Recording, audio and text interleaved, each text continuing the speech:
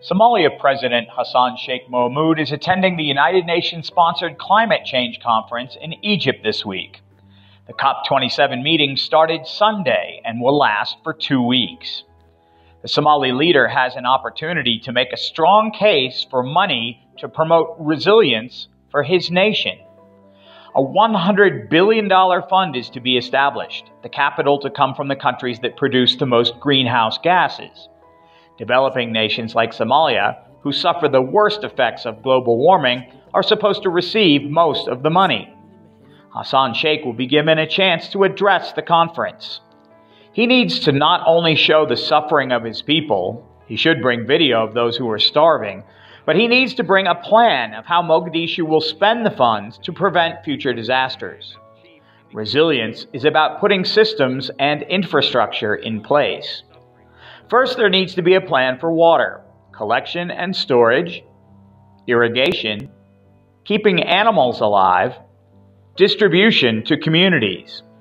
Based on past experience, the government should identify which areas suffer during droughts and make sure they are equipping these locations.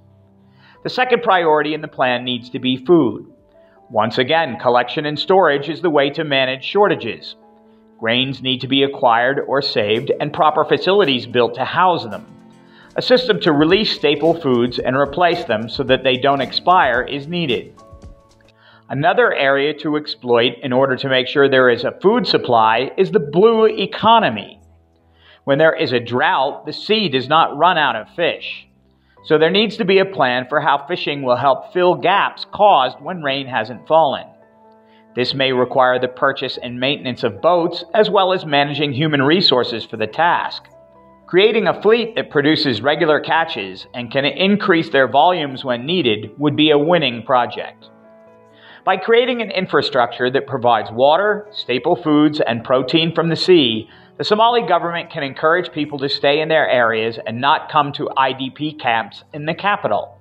By presenting a well thought out plan to the United Nations conference, Somalia should be able to access the funds to make it a reality. ADN TV will continue to report on climate developments across Africa.